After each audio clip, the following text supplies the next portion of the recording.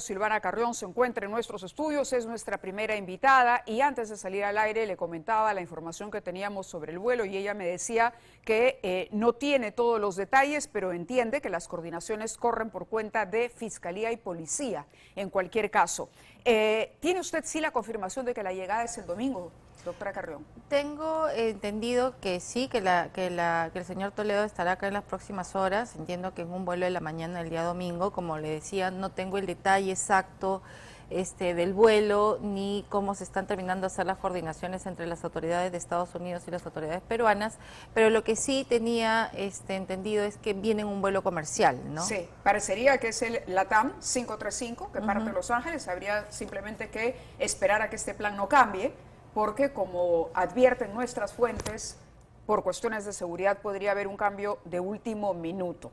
Ahora, él viene acompañado por alguaciles de los Estados Unidos, por los US Marshall, correcto, que son los policías federales de los Estados Unidos. ¿Esto es algo habitual en un proceso de extradición? Eh, no es algo habitual, pero es algo que sí eh, podría darse dentro del protocolo. O sea, las autoridades del país requiriente pueden viajar a trasladar a la persona que está siendo extraditada pero también las autoridades del país requerido podrían, con, sus, con su propia policía, en este caso los US Marshall, ponerlo a disposición de las autoridades del país requiriente. ¿no? Entonces, no es lo habitual, pero es algo que podría darse también, como en este caso, que creo que por la inmediatez y por la seguridad, digamos, este, para que el señor Toledo sea trasladado a nuestro país, es que finalmente se ha decidido que sea de esa manera. ¿no? Claro, desde que se conoció el escándalo Lava Yato allá por 2016 y se empezó a entender cómo Odebrecht manejaba, digamos, sus tentáculos en toda América Latina, el caso de Alejandro Toledo se fue poco a poco convirtiendo en un caso emblemático.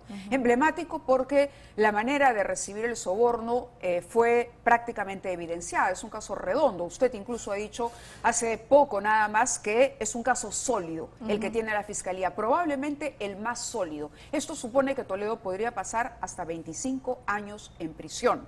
Para un hombre de setenta y pico, esto es prácticamente condenarlo a una cadena perpetua. la fiscalía lo ha acusado a 20 años con 6 meses, ¿no? Por los delitos de corrupción, de colusión agravada y lavado de activos, que son hechos graves, obviamente, este, eh, con eh, respecto a estos delitos, ¿no? Este, y efectivamente, el caso del proyecto interoceánica, el que tiene a su cargo el doctor José Domingo Pérez, es uno de los más solventes, digo, porque tiene la información de los colaboradores de Odebrecht y el señor Maiman y varios colaboradores de Odebrecht que no solamente han dicho o han narrado cómo se produjo esta concertación y este pacto del soborno, sino que además han documentado, ¿no?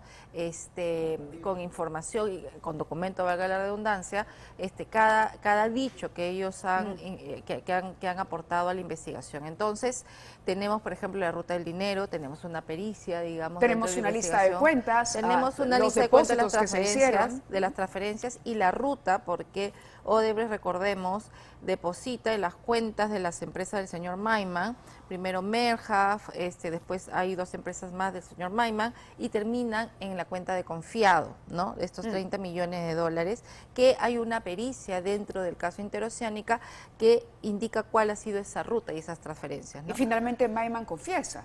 Y Maiman confiesa y dice que y admite que esos depósitos venían de este soborno, digamos, en partes, en cuotas se iban depositando, ¿no?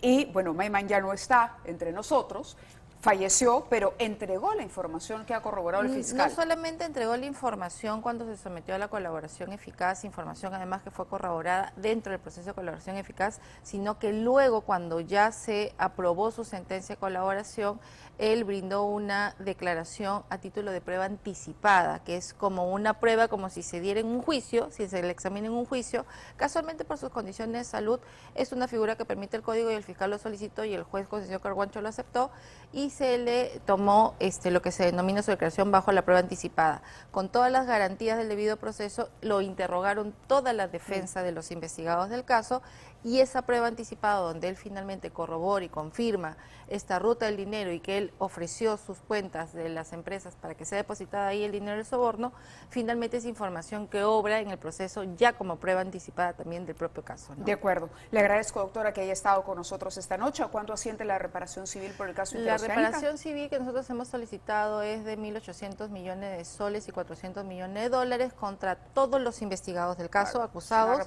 y las solidaria y las empresas también que están vinculadas a este proyecto. Muy bien, muy amable por estar con nosotros. Nosotros en esta edición especial del programa vamos a